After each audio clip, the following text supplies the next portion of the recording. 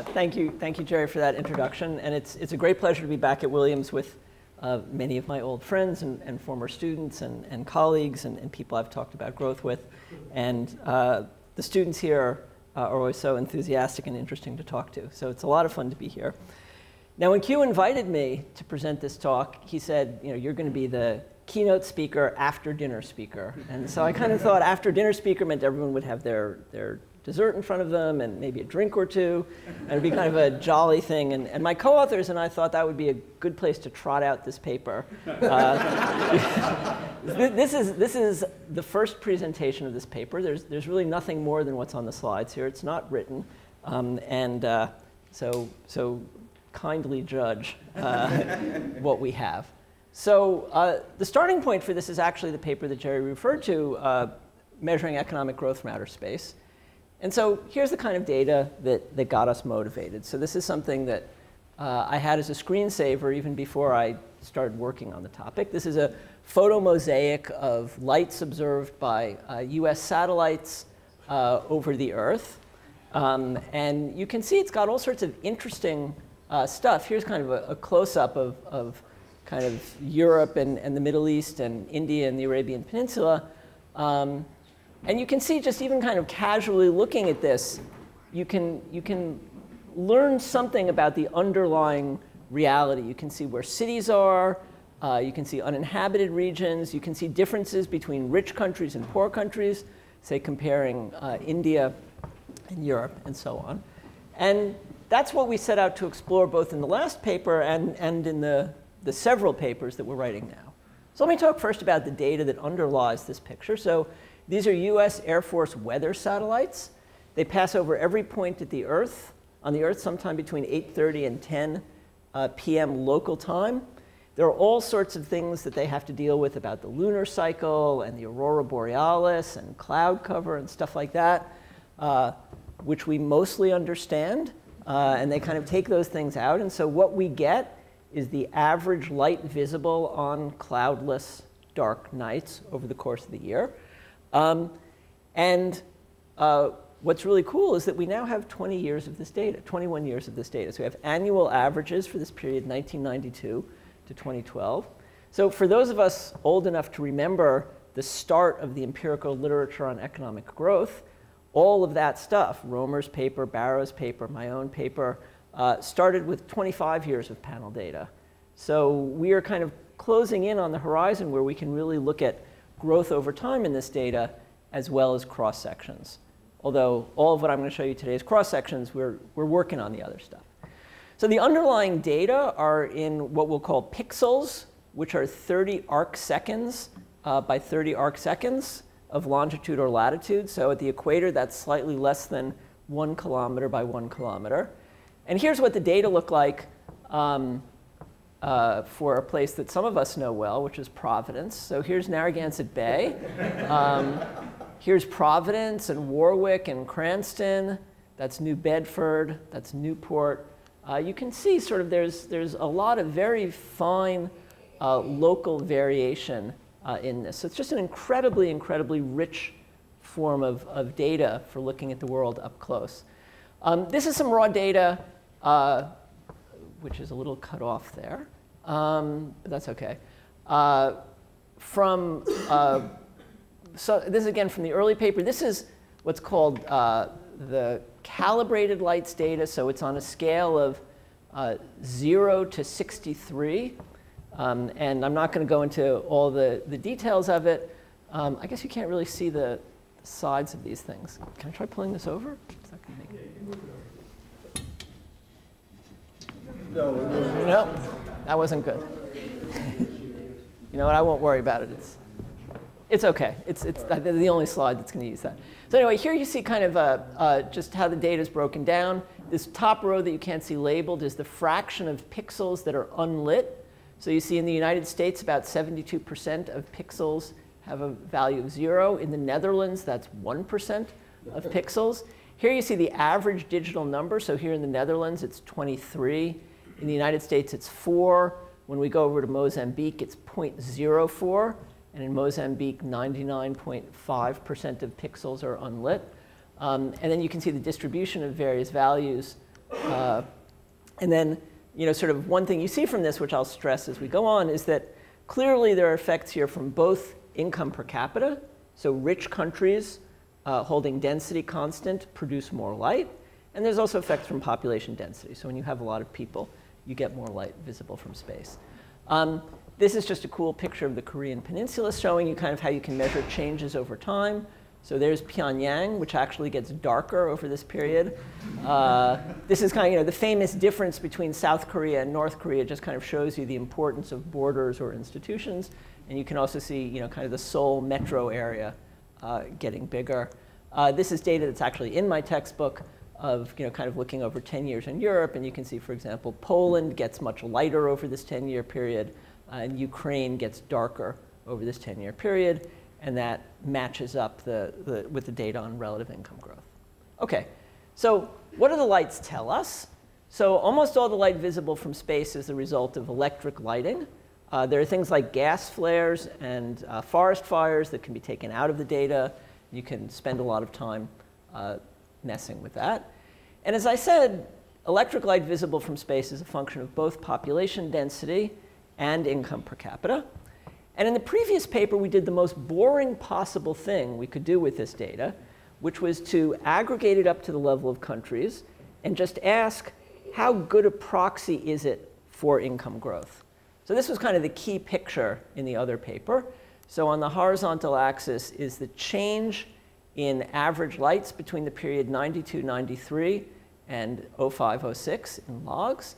And on the vertical axis is the change in total GDP uh, in the log of total GDP over the same period. And there's this positive relationship between the two. And in that paper, what we said is, you know, if you're a rich country, you've got good measures of GDP, and so knowing that lights go up when GDP goes up is not all that interesting. For poor countries where GDP is measured extremely poorly, the growth of lights is an alternative measure or a proxy for the growth of actual GDP. It's a terrible measure. It's full of measurement error, but the measurement error in lights is orthogonal or unrelated to the measurement error in GDP per capita. And so having two bad measures of something is better than having one bad measure of something.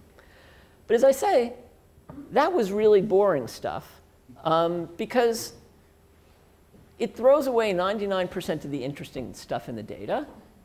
And in terms of levels, cross-country income differences are pretty well measured already. So improving the measurement using lights data is not that exciting.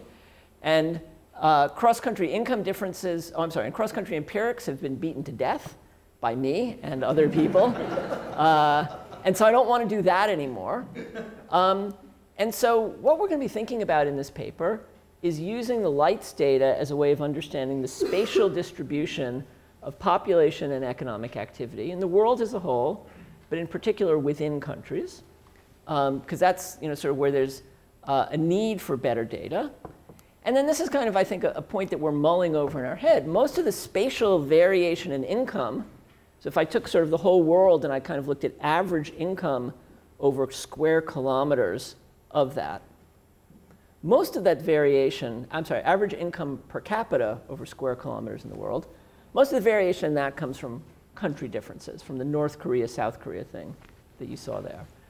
Within a country, sort of, institutions are held constant. And within a country, income tends to be more equal than it is between countries. And so when I look at light variation within a country, that's generally being driven by population distribution. So light data is giving me sort of information on where people live. So what can we say about the spatial distribution of population? So here's my thought experiment. So uh, you're trying to kind of start with a blank slate. I mean, we know about the spatial distribution of population. You, you, you could tell me a lot about it, I'm sure. But imagine you're captured by aliens. and the aliens say to you, this is what we've been looking at. We've been looking at the lights visible from space. That's the only thing we know about people. We have some other remote sense data maybe, but you know, we, don't, we don't know anything else. We don't know why, when we know that these lights reflect population density, we don't know why a lot of people live here and over here, and not a lot of people live over there, or something like that.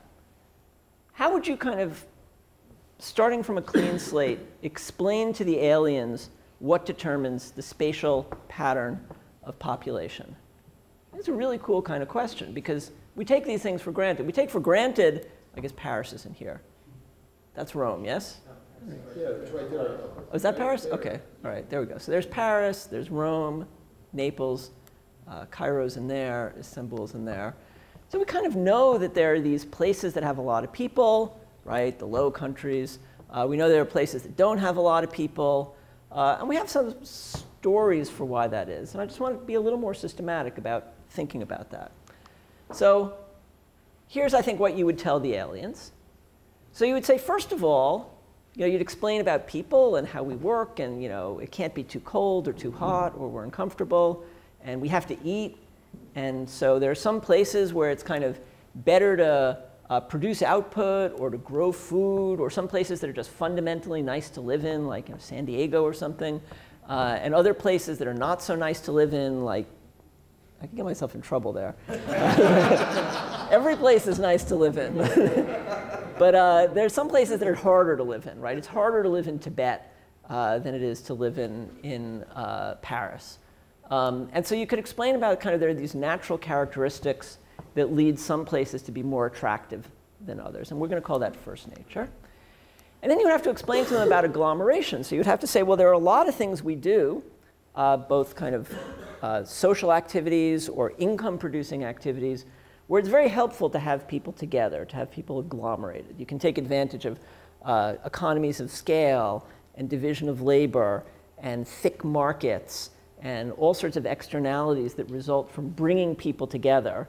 And that's one reason that we're not kind of all spread evenly across the globe. Um, but then you could also explain that, that there are limits on the value of agglomeration because there are also disamenities of agglomeration. There's congestion, there's pollution and stuff like that. Uh, and there's also kind of the uh, cost of bringing food, which even in this modern age, we still grow with land uh, to where the people are because everyone's got to eat. Um, and so those things are going to kind of work against each other. And so as I wrote here, people agglomerate, but they don't all agglomerate in one place. So there are these kind of centers of agglomeration uh, that are out there. And that's why even if the land were all the same, there would be this lumpiness to human population. And that's one thing we see on the map.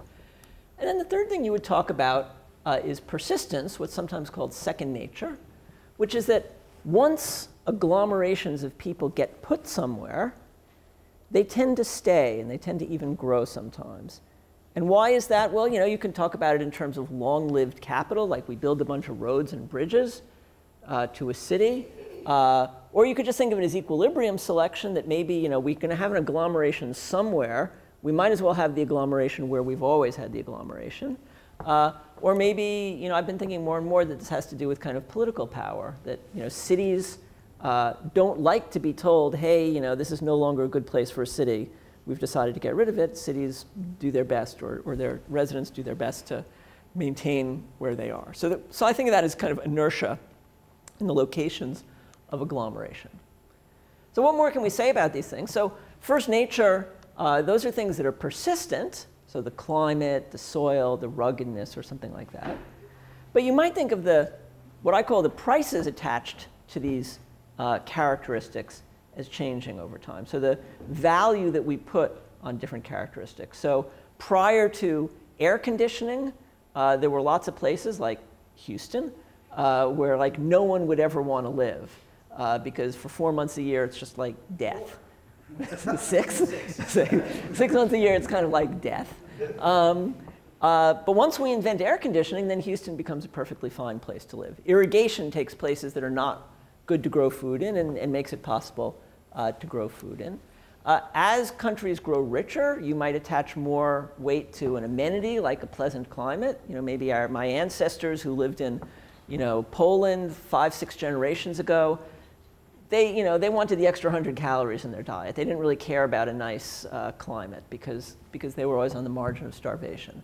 Um, as countries get richer, people uh, spend less of their consumption basket on food and rising agricultural productivity means that fewer people can produce all the food that folks want to eat. And so you can have this divorce between where people live and where you grow food. Um, and uh, I guess falling transport costs do the same thing. So uh, we don't have to have people near food producing areas. And maybe as countries uh, get richer and industrialized, uh, the value of trade increases.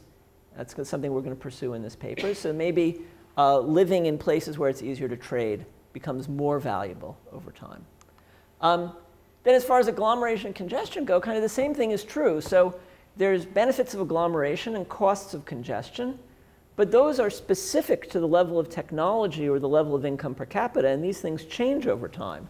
So if we think about sort of you know, the benefits or costs of living in a city, so without modern uh, clean water or sewage infrastructure or antibiotics, cities would be really, really bad places to live. And you, you wouldn't have so many big cities because the people in them would be dying at too high a rate. Um, so technology kind of makes that kind of agglomeration more possible. Um, industrial structure and type determine the benefits of agglomeration. And I just threw this in the end. You know, you would think that modern communication technology, so Skype and, and uh, you know, free telephone calls and all that, should lower the benefit of co-location. So I think, you know, sort of when all of us thought about what the internet was going to do, we thought, well, everyone can live in their little rural household and, you know, telecommute to work and, and do everything uh, without having to commute into the center of a big city. And that has totally not happened. So all the evidence is that increased uh, modern communication makes people want to live together in cities more. And I don't understand, I mean, I, I understand that that has happened. I just don't, I can't convince myself that's a permanent thing. Uh, so I think maybe we'll all be living in the countryside soon. All right. And then finally, persistence. So we have many examples of, of places where the locations of cities are determined by history. So Mexico City is a good example. So the Spanish put their capital there because they took it away from the Aztecs and they wanted to sort of show the Mexicans that they were the bosses now. Um, what I didn't know until I looked into it is that Mexico City uh, was not an old city when the Spanish took it over. You know, the Aztecs and, and their allies had sort of formed some confederation and built this city in the middle of a lake, uh, on an island in the middle of a lake, a couple of hundred years before the Spanish uh, took over. Um, but the city's still there. The lake has been filled in. Whatever was good about that place as far as the Aztecs are concerned is surely irrelevant today. It may even be a negative uh, factor today but nonetheless, this is where the, the capital of Mexico is in this, in this massive agglomeration. And then the other example, and I, I really do give this example even when I'm not at Williams, uh, is Williams. so, so, you know, presumably Williams College was put here because this was a relatively densely populated part of the country, populated by people who valued education, at a time when transport, you know, when you brought your son over to university, you load up the, the wagon and, and drive him over with his, his iMac and stuff. Uh, and um, this was a good place for that. But times have changed. This may or may not be a good place for a college to be. It's, it's really far from everywhere. Um, but Williams College is, is persistent here and presumably will be uh, forever. Uh, so this persistence really matters. So one of the big ideas that, that we have in this paper is that um, because of the importance of agglomeration, there are going to be concentrations of population, but where those are could be many, many different possible equilibria. So there could be many different places Williams College or, or Providence uh, could be. And any of them can be an equilibrium in the sense that if we sort of designate that as where the agglomeration is going to be, then it will, will have an equilibrium where that's where the agglomeration is. Those equilibria can vary in efficiency. And historical persistence may select an equilibrium, and it may select an inefficient equilibrium. Um, and I, again, I'm not enough of an expert, so someone can tell me afterwards. I think of Bombay as kind of, sort of being a very inefficient equilibrium, and that was kind of a good place to have a port, but now you have this very big city on this teeny little spit of land. And so, uh, you know, if you were kind of redesigning India today, you would put that big city uh, somewhere that was easier to get to. Um, and so here's the policy thing. Q said I should talk about the role of policy. So in not yet urbanized countries, or in countries that are urbanizing rapidly, you can think of this as a real lever for policymakers in sort of determining which of these equilibria will obtain and figuring out which, that, which the efficient urban or spatial equilibrium uh, is. Okay, so um, to sort of set up the things I want to look at, so we see there's persistence, but we don't know whether that's kind of this agglomeration inertia or persistent natural advantages. Um, and just observing that there's persistence doesn't really tell us which of those there is. I'll talk briefly about two papers uh, from the literature that are kind of well known for looking at this. Uh, and there are a few others I could talk about as well. So one is this very famous paper by uh, Bleakley and Lin uh, called Portage and Path Dependence. This is a kind of geography uh, as a natural experiment uh, paper. So there's this geographical feature called the fall line. So the fall line is if you think about a river going to the sea, the fall line is the place where the last rapids or waterfall is before the river is flat to the ocean. So the fall line is the place that you can sail to in an ocean-going ship before you have to stop. Um, and it's particularly pronounced in the southeast US. And in early development, this was the natural place to have a trading post because you had to transship goods here. And so a lot of trading posts in cities kind of arose at the falls line. Um, and then in early industrialization, the waterfalls also provided power. Uh, so Pawtucket, Rhode Island is, is actually on the falls line and was a place where there was early industrialization. But none of this has mattered for more than 100 years. We haven't had water-powered factories, and, and we haven't had, you know, we've had railroads and stuff like that. So all of these things have been irrelevant. Um, in the US, there are many big cities that are on fall lines or also portage locations, which are somewhat similar. So there's a list of them. And what Bleakley and Lin find is that cities on the fall line in modern times don't grow any more slowly than other cities. So here are cities that had a natural advantage, a reason for being in a place. We took that reason away, and it doesn't seem to matter. So it's sort of evidence that kind of history determines where the agglomerations happen, but once the agglomerations start, they kind of keep going. So that's a very much sort of agglomeration inertia view. There's this paper by Davis and Weinstein that looks at Japan that sort of draws a very different conclusion. So they look at data, actually here I talk about 1,500 years of data. They actually have like a couple of thousand if you use their other data set. Um, and the big finding there is that there are these persistent differences in, in, in uh, population density among regions in Japan. There are regions that always have higher density uh, than other ones. Um, and then when industrialization starts, the ones that are most dense are the ones where agglomeration happens, and these regions kind of separate uh, from the others. And they interpret this as saying that it's really about first nature, that the more dense regions just have better natural characteristics uh, than the other ones. And that selects where agglomeration takes place. And they test this by sort of thinking of this natural experiment. So the natural experiment I often think of in the case of the US, sort of on the, on the Williams College uh, model, is Suppose someone came to you and said, you know what, we're going to start again with the US. So what I want you to do is take these 330 million people and these, I don't know, how much capital is there in the US? Like 20 trillion or 30, no, two times GDP, like that, $30 trillion or something. Take all this capital and all these people and put them where they best fit now with modern technology. So we would take the small liberal arts colleges and we would scatter them, some in New England, but many in non-New England places, and so on. So if you wiped the slate clean and got rid of the influence of history, we would have a very different spatial equilibrium. At least that's what urban economists think.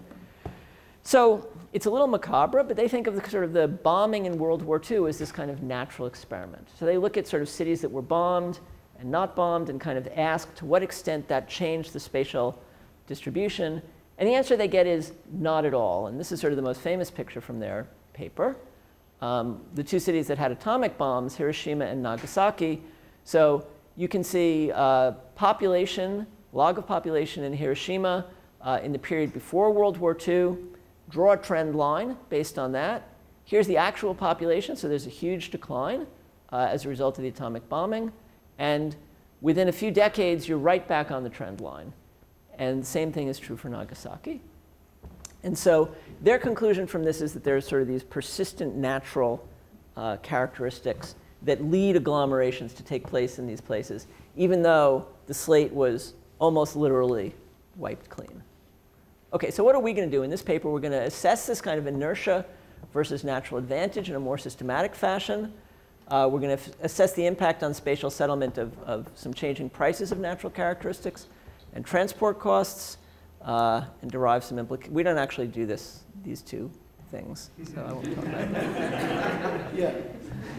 so here's our empirical setup. So uh, we're going to take that lights data that I showed you before, and we're going to aggregate it up to a somewhat more manageable unit. So we're going to use quarter degree longitude by latitude uh, data.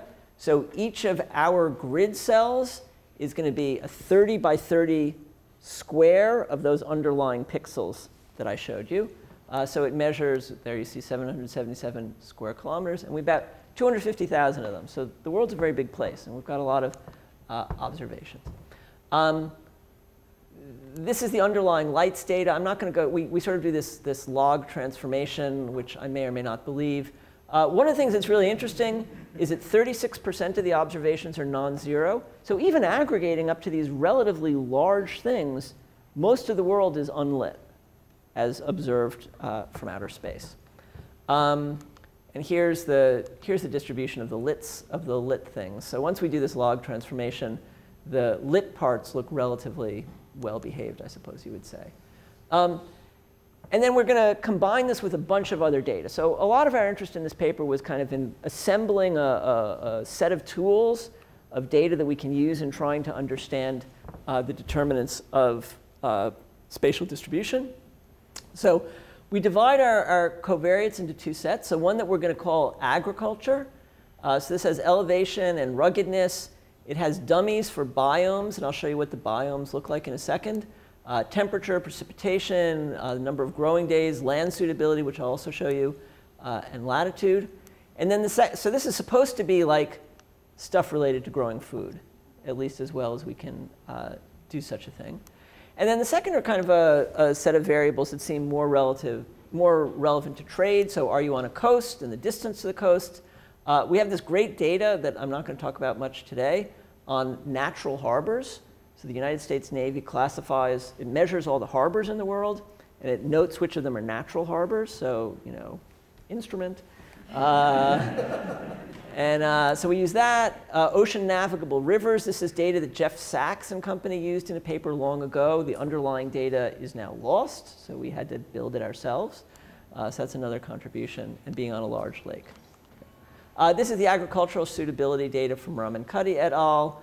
Uh, I just put this up because I just think it's really interesting. When you look at this, you understand the world a little better. Like, why are India and China such populous countries? Oh, look, they're big collections of really good land, and so they have a lot of people on them. Uh, and you know, similarly, uh, you know, Europe seems to have a pretty good collection of, of land over there, and, and uh, some places in the New World, and we'll come back to that as well. Um, and these are the biomes.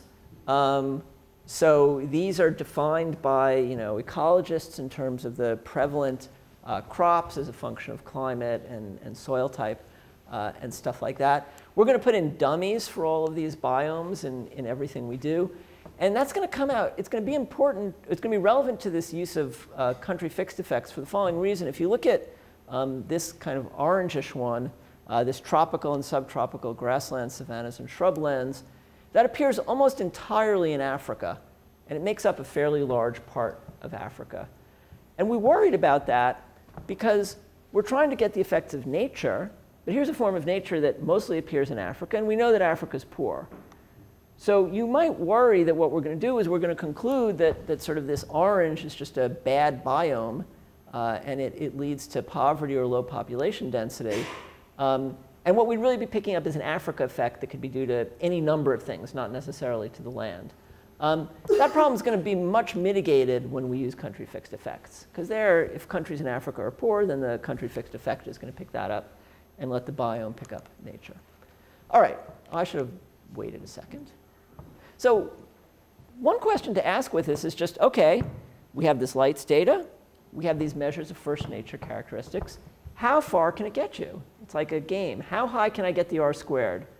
By putting in, uh, you know, uh, you applied micro people, you're all about t statistics, but R squareds are important too. so, so uh, how much of the variation in lights in the world can I explain just with these first nature characteristics?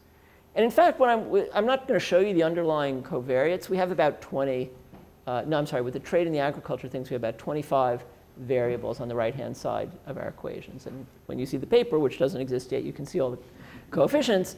Um, but it's kind of impressive that we can get the R squared up pretty high. So if we uh, put in our agriculture and trade variables together, it gets the R squared up to 46%.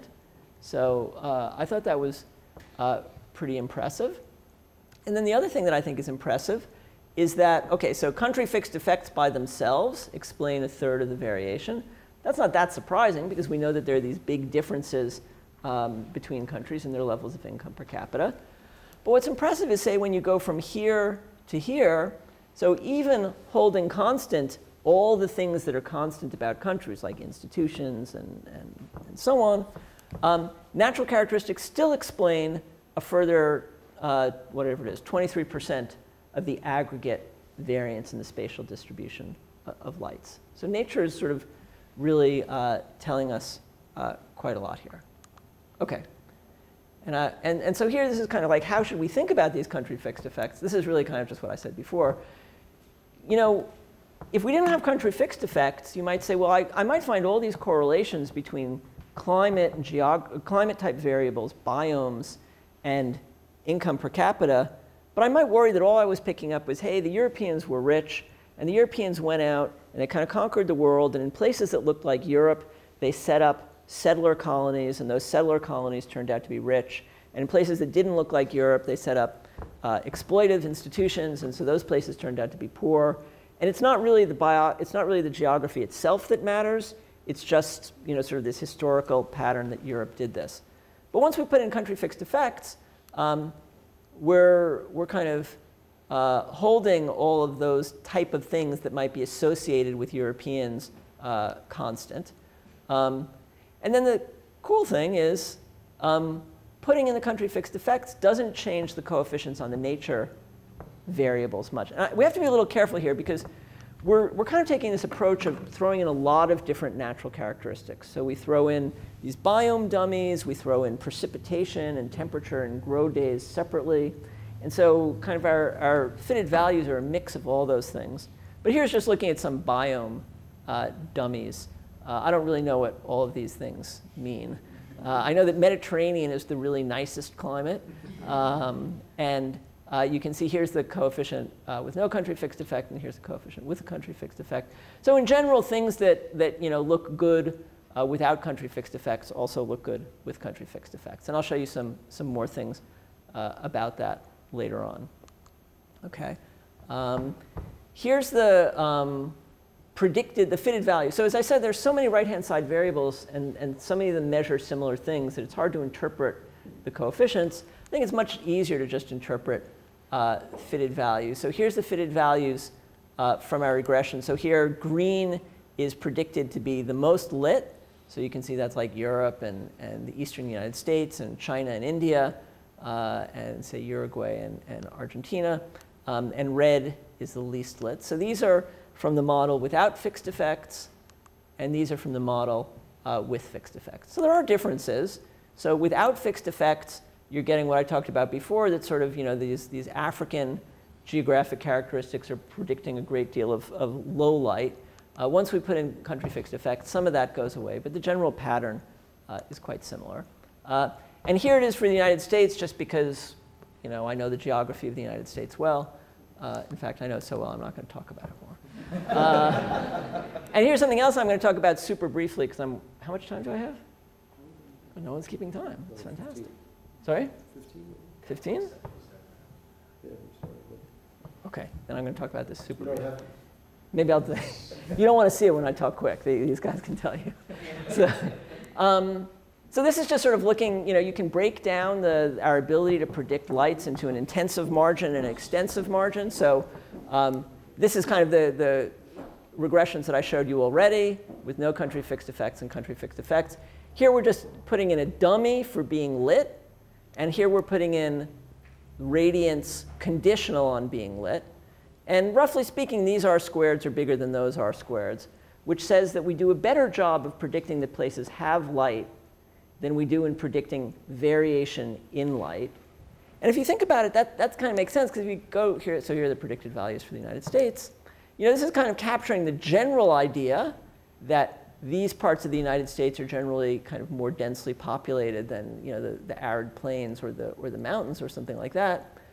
But if you looked at the actual United States, you would note that there were all these kind of centers of agglomeration. And so that produces a lot of variation in the degree to which places are lit.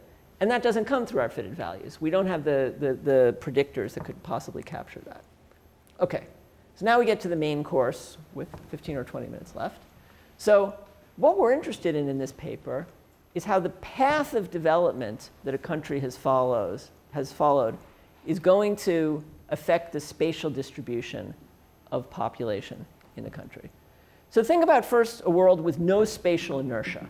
So where the past didn't matter, where every day we could reset the entire uh, chessboard. So in that world, the fraction of the population urbanized is just going to depend on agricultural productivity. When agricultural productivity is high, we have more people urbanized. The number of cities is going to depend on this agglomeration congestion trade-off as well as transportation costs. So if agglomeration is uh, really valuable, then we're going to end up with kind of a few big cities if transport costs aren't too high. And then the location of the cities is going to depend on transport costs and on the extent to which some places are naturally better for producing output in than others. So for, you know, just kind of as a thought experiment, imagine that, that um, there are no congestion effects, so that bigger cities are always better, and that transport costs are super low. Well, in that case, what you're going to have is everyone who's urbanized is going to live in one city, and they're going to get food from everywhere else. Um, but then as you kind of turned these other knobs, as you kind of raise the congestion costs or raise the transport costs, you would get a different spatial distribution. That's all in a world without spatial inertia. Then in a world with spatial inertia, the history of these things matters as well. What fell first, transport costs or congestion costs or so on? OK, so that's the general model. Here's the narrow model. I'm not going to do the model in math because it's an evening talk and because we haven't gotten the math to work yet. We got the pictures. pictures are working really well. OK. So there are two goods. People consume agriculture and a manufactured good. There are going to be two regions, which we're going to call the coast and the interior. Um, so we're sort of thinking about, you know, a canonical African country here, if you like. Uh, the coast is better for manufacturing. So you can think about the coast as, as kind of having access to world markets and technology and trade and stuff like that. Um, it doesn't have to be a lot better for manufacturing, but it's just somewhat better uh, for manufacturing. There's no difference between the regions and their ability to produce agricultural goods. Um, population is going to move between the regions such that utility is equalized. So they're going to kind of people can move uh, even if goods sometimes can't move. And then for this version of the model, each, each region can have at most one city. So we've got kind of a nascent city location on the coast and a nascent city location in the interior. And those cities are going to have some size, and they're going to have some agricultural hinterland around them. And there are going to be two dimensions of technology that can change over time. So I'm going to think of A as being agricultural productivity. So as countries develop, as time goes by, agricultural productivity rises, and that means more people can work in manufacturing. And then secondly, tau is going to be the cost of interregional trade. So in this simple setup, there's no cost in getting the food from the area around the interior city into the interior city, but there's a cost of getting the food from the interior to the coast or vice versa. Okay? So in the pre-development era, in the old days, agricultural productivity is low, so most people work in agriculture, and transport costs are high, so there's no interregional trade. In the developed era, or the end state of this model, agricultural productivity is high, so most people work in manufacturing and live in cities. And transport costs are low, so it's possible that we're going to observe interregional trade. Okay? So um, this is just kind of the production and preferences. So agriculture uses land and labor and has constant returns. And the preferences are going to be rigged such that as people get richer, uh, you know, the, your ability to eat is limited by the size of your stomach. And so they consume more uh, manufactured goods. Manufacturing takes place in cities. And manufacturing is going to be subject to both positive agglomeration effects and negative congestion effects. And the model is rigged so that you get a picture that looks like this. If I look at city population here and manufacturing productivity or the wage of people who work in manufacturing, uh, when a city starts to grow, we benefit from agglomeration. Uh, and so the wages of everyone rise from all of these nice externalities and thick markets and stuff like that. Uh, but once the city passes a certain size, then we're on this downslope, and congestion is actually outweighing uh, agglomeration benefits. Okay, so uh, the equilibrium of the model is going to be that individuals move between regions and between occupations such that utility is equalized for everyone, the two possible locations and the two possible occupations. Um, and then we're not going to model the inertia part formally, but we're going to sort of wave our hands and say that sort of the where people are located uh, early in the development process is going to kind of keep them located there unless they have a good reason to move. Uh, so it's going to determine which of the multiple equilibria are selected. So this is model comes from Brown University, so there are multiple equilibria. You all knew that. Um, so let's first think about the equilibrium with low A and high T. So this is the old days. So in the old days, most people work in agriculture, and transport costs are high, so the coast and the interior are isolated from each other. Each one is in autarky. And so what you're going to have, uh, but people can move, so we're being a little cheating here. So you can't move goods, but people can say, gee, you know, those people in the, in the interior really have a much better life than us, so we're going to migrate. Okay, so um, what you're going to have are kind of small city populations in both the interior and the coast. Um, and the manufacturing productivity is going to be equalized uh, between the two of these. And I realized after I drew this picture that really this curve for the coast should be a little higher up because I said that the coast was more productive, but it's epsilon more productive, so that's why you don't see it in this picture. so that's the equilibrium when A is low and tau is high. When we're in the developed case, so where A is high and tau is low, there are going to be two possible equilibria. Okay? Actually, three, but two types of equilibria.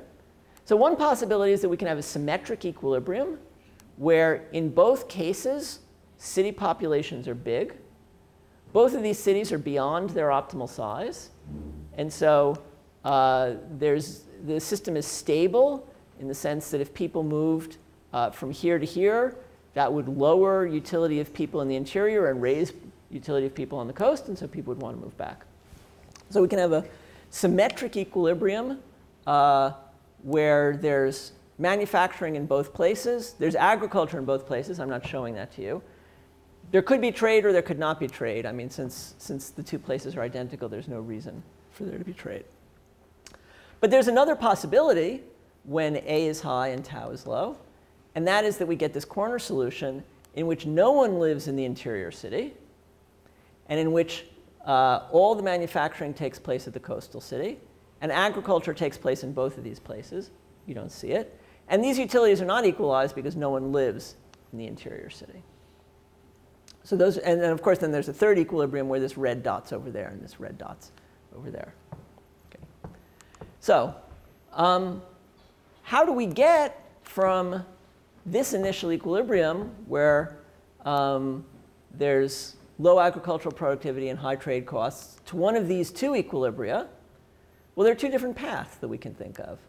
So you can think of A rising before tau falls, or you can think of path number two, tau falling before A rising. Okay, so those are sort of the two different development paths that we're going to think of. So if A rises before tau falls, so here we are in our initial equilibrium. A rises, that means more people leave the farm and go to the city. But transport costs are still high, so each region is going to have to fend for itself. So I'm going to get large cities in both the coast and the interior. And then later on, when I reduce transport costs, even if I raise A more, I'm going to end up in some final equilibrium that is symmetric. So because the cities grew up when transport costs were high, we're going to have cities located uh, in both places. By contrast, if tau falls before A rises, so here again the yellow is our initial position, when we reduce tau, we still have to have most people doing farming, but it would be unstable to have two equally sized cities.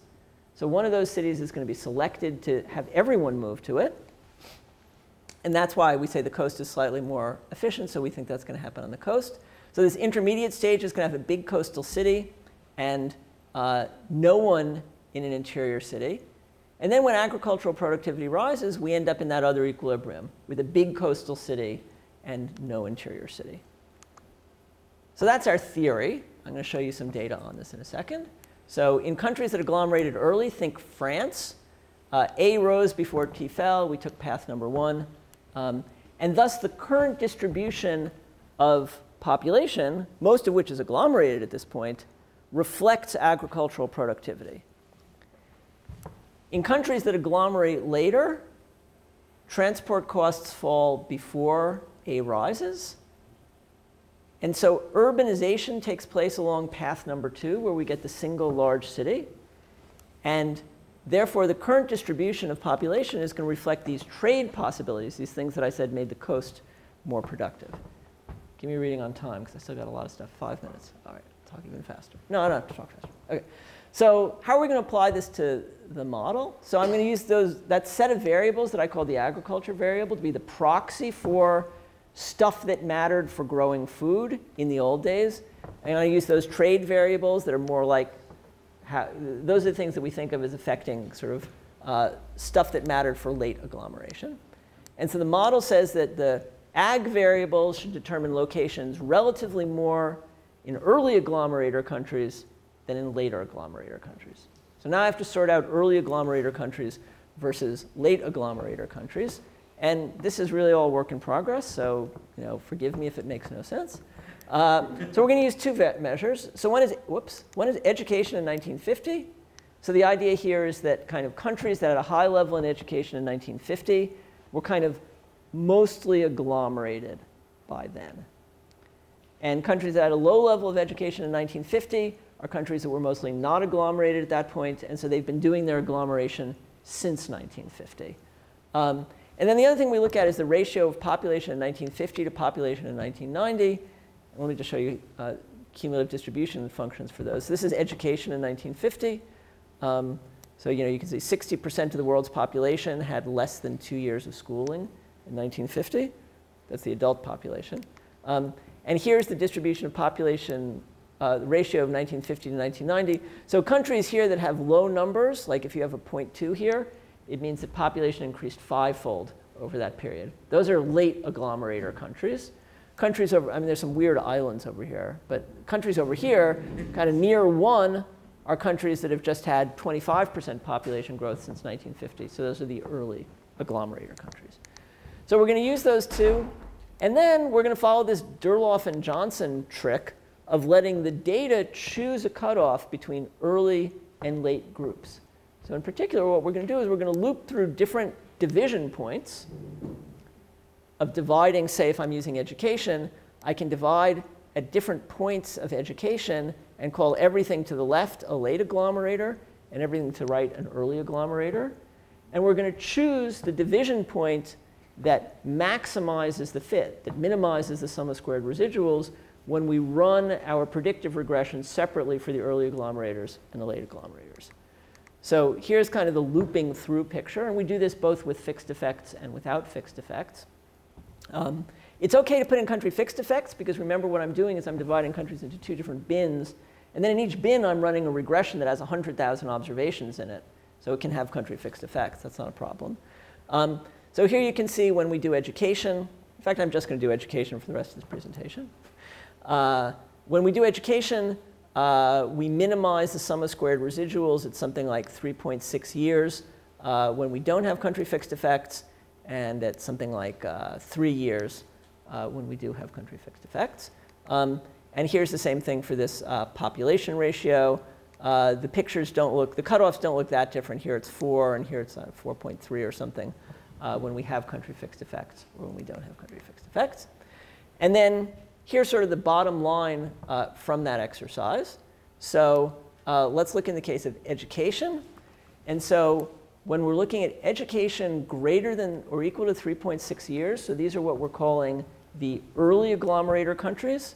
And here's the R squared from our standard regression, just using the agriculture variables or just using the trade variables. And then here's the same regression run for the late agglomerator countries. Again, the R squared using the ag variables or using the trade variables. And so what you can see very nicely is that when we move from um, the early agglomerators to the late agglomerators, agriculture becomes less important and trade becomes more important. And we didn't, I didn't even actually, these didn't have to go in opposite directions. I really just wanted agriculture to become relatively less important, but it's kind of nice. Um, and then here's the same thing uh, when we do country fixed effects. Again, the effect of agriculture goes down, and here the effect of trade goes up uh, only slightly. And this thing that in this thing is called SW, uh, this is that ratio I talked about before. Uh, so this is a ratio of population in 1950 to population uh, in 1990. So the countries where it's greater than 4.3, these numbers here, the 3.6 and the 3 and the 4.3 and the 0.4, uh, those were the cutoffs that were determined by this Durlauf-Johnson type procedure. So when we look at the early agglomerators compared to the late agglomerators, the importance of agriculture goes down, the importance of trade goes up, and that holds uh, even with country fixed effects. Um, and then sort of the last thing we do is just look at fitted values uh, for that can't remember what else. Okay, so here's the US and here's the world. Um, so let me just do this one. So this is the baseline specification with country fixed effects. So I, I, believe the stuff with country fixed effects more. And what we're looking at here is the difference in predicted values. Oh, shoot. That's what I want. The difference in predicted values for education greater than three years relative to education less than three years. So we run the regression. We say, how should the United States be settled if it was an early agglomerator versus how should it be settled if it was a late agglomerator? And green are places where, as an early agglomerator, the United States should have more people than as a late agglomerator.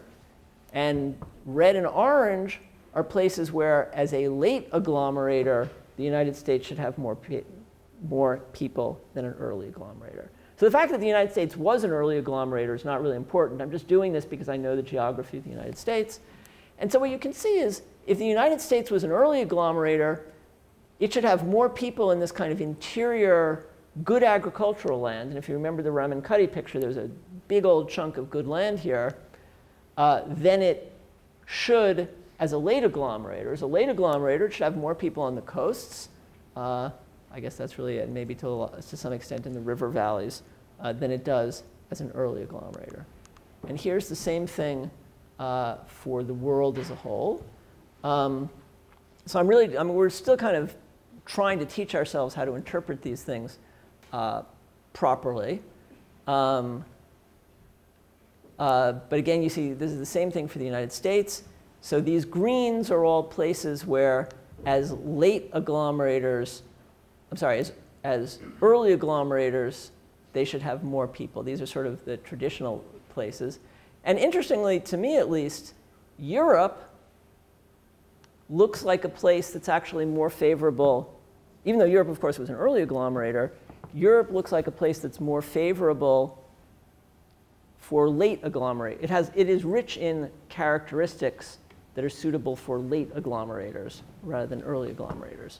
Um, so that's it. This is work in progress. Um, I think it's really cool. Um, and uh, thank you for listening.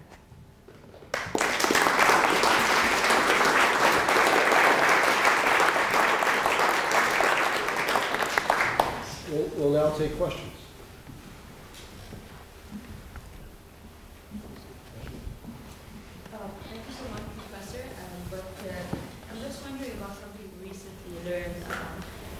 Um, about the theory of increasing returns by uh, Easterly, which says basically that um, sometimes people would prefer to live next to other people with um, similar levels of education um, because there are more returns on that.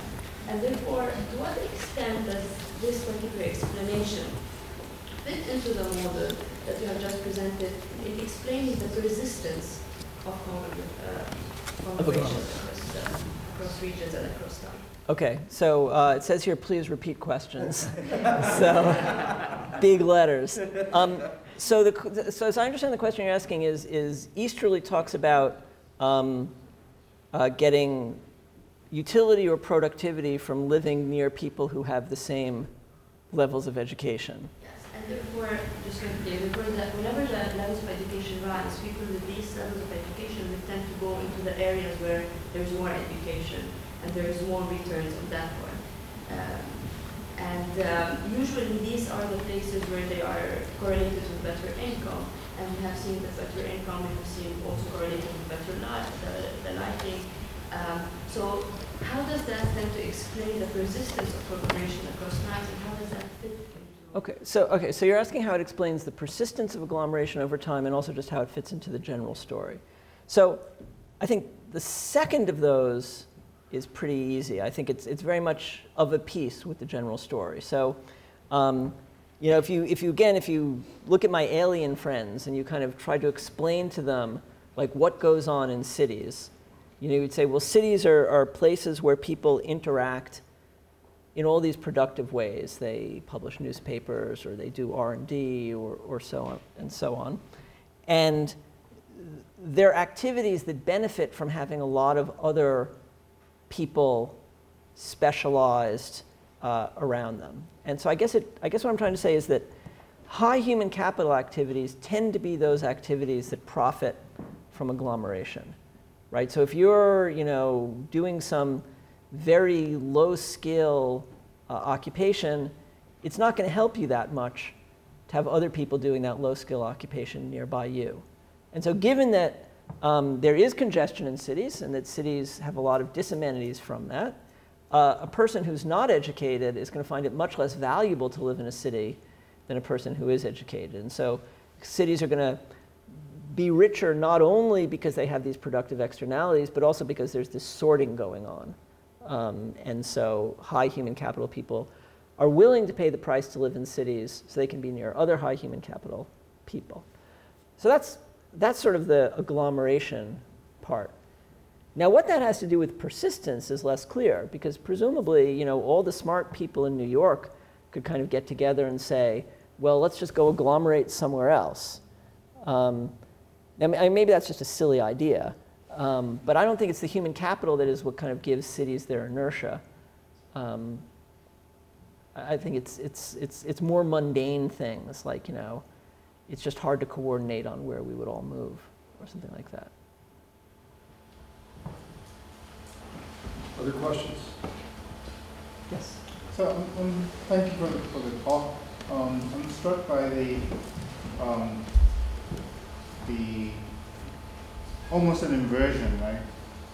From by the the- picture, almost an inversion from the picture you started out showing us, which is Europe was the most left. Mhm. Um, and, and, and this is suggesting a slightly different configuration, um, if, I, if I'm following correctly. I'm, I'm wondering though whether you can explain why um, the European experience by the fact that they're benefiting from an exercise of political power, which enables a kind of earlier agglomeration than we would have expected because they're relying on political power to funnel, funnel in the kind of the agricultural benefits from elsewhere. Does that make sense? No, that, that, that makes sense. I think, um, I mean, okay, so, so sorry to repeat the questions. so, um, so at least part of the question that you asked is, um, well, so first you asked about sort of this inversion, which, which I'm not going to explain to you because it's a puzzle to me, uh, of why it is that, you know, obviously Europe agglomerates first and is rich, and yet according to this um, thing of looking at predicted values, Europe actually seems to have, um, be particularly rich in the characteristics that lead to uh, concentration of population under late agglomeration. So, you know, I don't know. the other question you asked is, to what extent is Europe's agglomeration made possible by the projection of political power over the rest of the world? And you know, sort of in the terms of the model, uh, bringing in the food from elsewhere so that they can kind of have agglomeration themselves.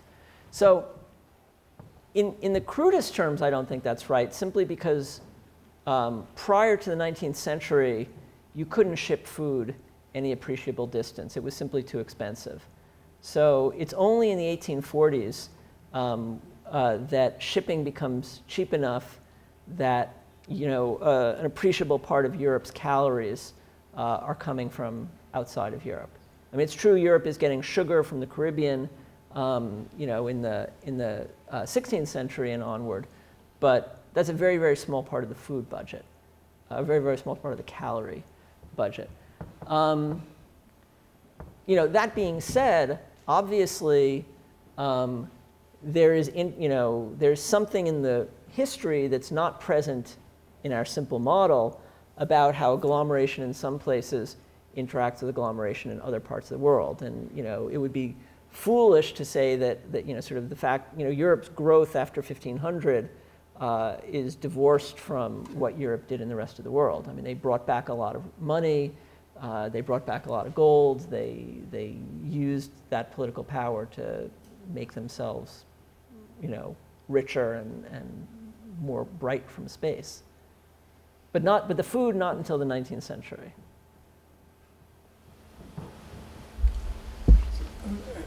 Just an observation, it's not really a, um, criticism or anything. I, when, I, when I think about at least the, the Indian uh, subcontinent and about the transportation costs versus agricultural potential, they seem to sort of go together in the sense that you've got the Gangetic Plain, it's fertile, you've also got the Ganges River, which then you can actually move along. And I wonder, so in that context, I would think it's kind of hard to tease out the different, different effects of Tao versus agriculture. And I wonder, is that like a common problem for you in other parts of the world, or? Okay, so I'm supposed to repeat that as a question. so, so the question is, is you know, uh, what about places like the Gangetic Plain where you know it's both fertile and transport is easy? So, I mean, I, a lot of my thinking about this paper was really shaped by this picture from the Ramankutty data. Um, here we go. Okay, so um, you know, there's the Gangetic Plain, um, and so it's this big swath of good land. Um, and then here's, you know, kind of the, uh, the American Midwest and the Mississippi Valley and the upper Midwest. And it's also this really good land. And so, you know, why is it that the Gangetic Plain is so densely populated and Iowa's not? And so my answer to that, which is sort of what I try to incorporate into this model, is that when the Gangetic Plain was being settled, agricultural productivity was low. So forget about transport costs. You needed the people, you needed the agricultural workers to live near the land because you know, each person could produce enough food for a little more than one person. So you, know, you could have some cities, um, but most people had to farm. And then I guess transport costs were still high enough, even, you know, even though it's, it's uh, geographically a place that's good for transport. You know, we're talking about an era in which transport technology is still not good. And so the cities are kind of near where the farmers are, uh, you know, because you want to rule over them and take their surplus so you can have your city. And that's all tied down by the good land. Now, when Iowa is resettled, so, you know, as we, as we saw earlier today, the Native Americans are pushed out, and, you know, European descended uh, Americans uh, come in. And by the time Iowa is settled, agricultural productivity is much higher, and transport costs are low, so people in New York can eat the pork that's raised in Iowa. And so that's why we don't have this dense population in Iowa. So that's sort of, it was exactly the Gangetic Plain that actually got me thinking about a lot of these issues. Yes? Um, if we could look at your, the predicted values again, I mean, what, one thing that's really striking about it in, in some of the areas is how, th this isn't the one that. Oh, which, you want the, the one from the very end, which yeah, is the. One at the very end. Right, so the one at the, just to be clear, the one at the very end is, is the difference in predicted values from my two specifications. Oops. And so, so what's interesting about it is, is, as you pointed out in just towards the end of your talk, how it looks like Europe, and even more so Greenland, uh, is, is an ideal place for, for uh, later agglomeration. Uh, wait, no, just to be clear, it's, what, what's, what's being looked at here is not the fitted values, it's the difference in the fitted values. So it says that Greenland is particularly much better for later agglomeration than it is for early And, agglomeration. and it's yet to come. Well, no, no, no, no, because it, it could be that it could be that the fitted values for both are very small. Yeah. So it's, it could be a bad place by both, but it's just in a particularly bad place by the old ones. But when we look at Europe, so looking at Europe is the, I mean, Greenland is just kind of a funny one to look at. But Europe, Europe's quite interesting. And what it makes me think is, well, but Europe wasn't a late agglomerator, it was an earlier agglomerator. And so your, your model might suggest that, and so we see it's contradicted by the historical fact. And so maybe there's something in the model that's just not picking up what caused it. And so your model assumed equal technology in all regions. But that wasn't true with Europe. I mean, so part of the reason, maybe what you've got here, what's interesting about this picture is where we see discrepancy between this picture and, histor- and the historical record. It leads us to look for what aspects of your model are not true that help us to understand and explain the different patterns of urbanization. I, no, I, I accept that. I won't try to repeat that question, but I, but I accept it. I mean, I think, you know, we're, by putting in country fixed effects, we're kind of getting out of the game of why Europe agglomerates first. Um, and, uh, you know, you, you, it, it could be, and, and this is really just thinking out loud, that Europe had these characteristics that would be the valuable characteristics later on. I suppose that's kind of the Jeff Sachs view, that you know, Europe has the large coastlines and the natural harbors and the easy transport. But the way, but, but nonetheless, I think what's interesting about the story is that Europe agglomerates at a time where these things that would be its advantages are not yet advantages, right? So you know, think about France. I mean, France, you know, uh, is is you know the time of the Napoleonic Wars is is dense and, and rich and the most important country in Europe. And it's not because it's doing trade with the, the developing world or anything. It's it's just about its own characteristics. And yet France is endowed with these characteristics that seem to be valuable in subsequent periods. Uh, that's like I have to think about that. All. So, um, so I think Ed Glaeser has this paper, A World of Cities, and he coins this phrase, urbanization out of desperation. Um, and I was just wondering if you could potentially use your model to think about maybe this would be relevant for climate change and agricultural productivity not going up, but actually going down, how that would affect not like a pull into an urban center, but like a push into an urban center.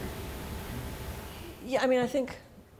Okay, so repeat the question. so, so, you know, Ed Glaeser has this story about, as he said, urbanization out of desperation. So, you know, people can't support themselves on the land uh, and are pushed into cities.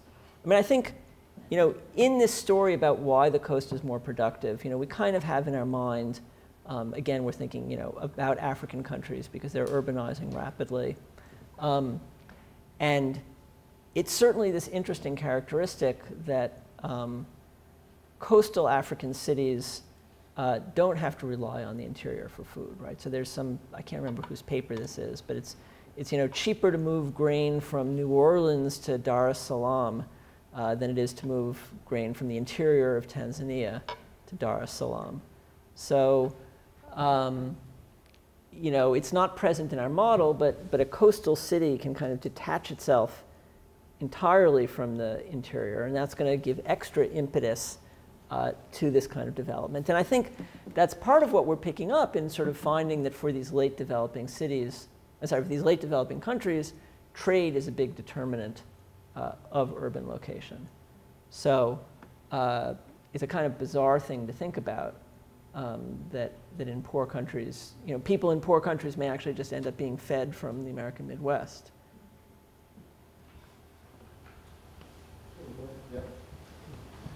Um, United Nations and Professor Jeffrey Sachs and um, people around him, they are working on sustainable development goals today. Sustainable development. Sustainable development goals. SDGs Okay. for the next 15 years. So after the MDGs now they're working to uh, come up with sustainability of agriculture, ag- uh, including urbanization, including transportation, which they were missing elements of Millennium Development Goals. But um, I want to know, what do you think about um, their, um, um, about the Sustainable Development Goals? Whether after 15 years, uh, um, countries will be able to overcome some solutions based on what you explained here?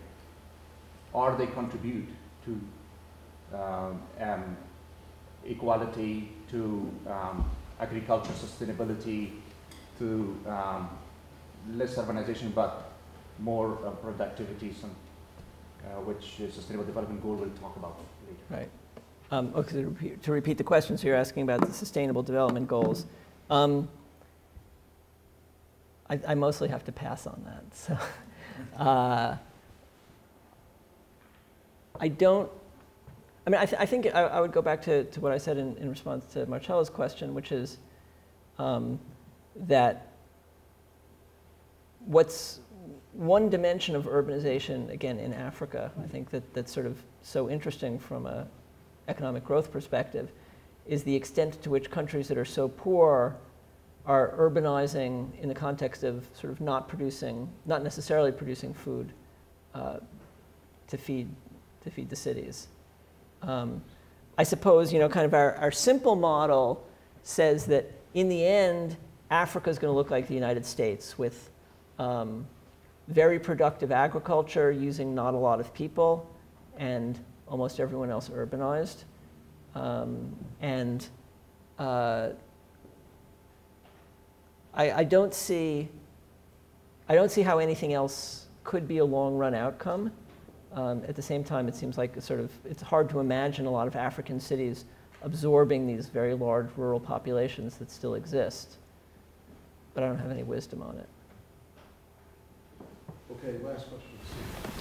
Um, so This exercise, and especially going back to the R squared table, um, these two groups, I'm just in some ways, get R squares that vary because, you know, the left-hand side variable is a lot of variation, the right-hand side ones don't, or vice versa. And in some ways, you worry a little bit about the properties of the countries with, in these different bins, having very different variations in the right-hand side variables relative to the left-hand side. So take Europe, for example. Europe, not probably a lot of variation in the light variable relative to know, Mongolia or something like that, where you got a few, or China, okay? Um, you got these two pic, the picture at the end, China looks very different from Europe, right?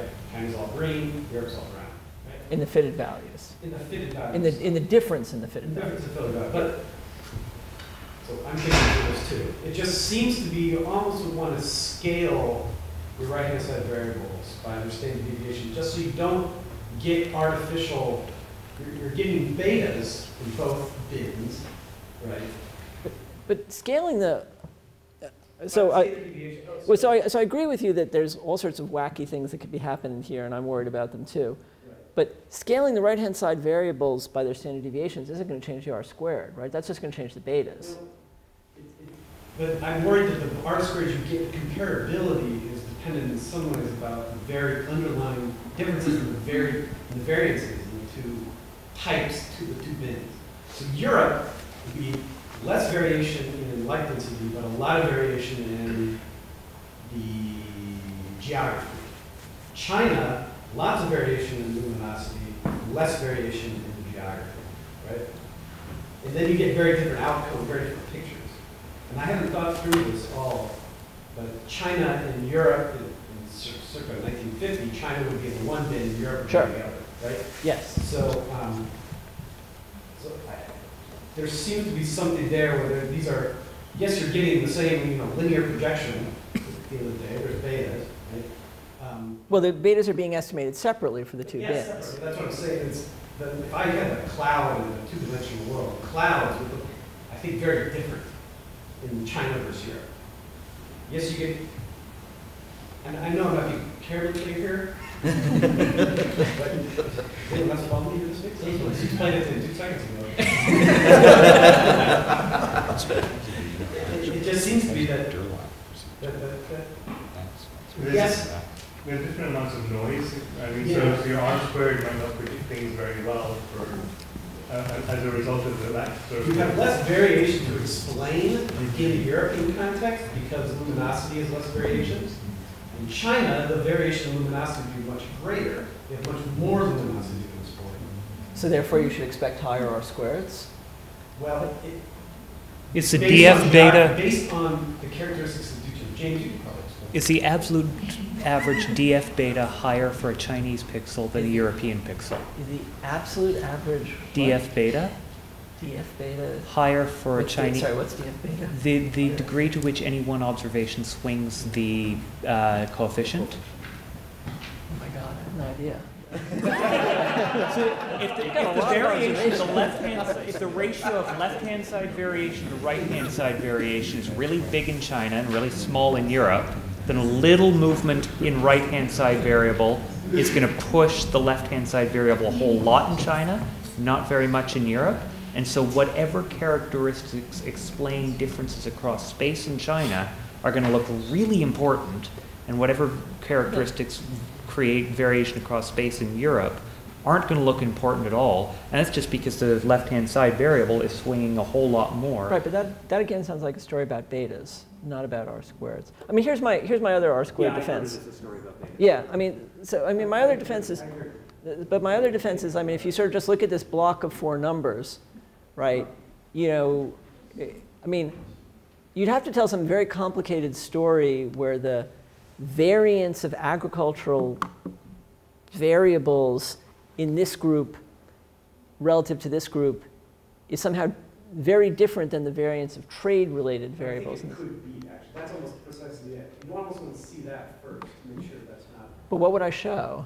I mean, I have all I don't the. know. That's my. the luminosity of each pixel. Sorry? Recalculate the luminosity of each pixel, not in terms of deviations from country means, but in terms of standard deviations from country means. And so there is a potential. So you want me to set the variance in every country to be the same? Yeah. Yeah, Yeah. that's what I was trying to say. Set the variance of. Just- That's, that sort of struck me as you've got the relative variation in two places that are very different. The Left-hand side. So if, if you guys think that all I have to do to make this paper finished is to set the variance of the.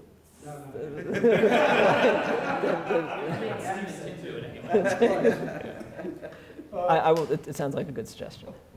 Uh, Okay, unfortunately, we- we've run over. Uh, If there are individual questions, Professor Weil might have uh, time to take a couple of them. Also, if there are any CDE students who would like to come up and explain the reason why Williamstown, or Williams College for a while is it's removed other distractions, so you've been able to work so much harder, and that will persist for a while. Uh, Feel free to do so, but otherwise, please join me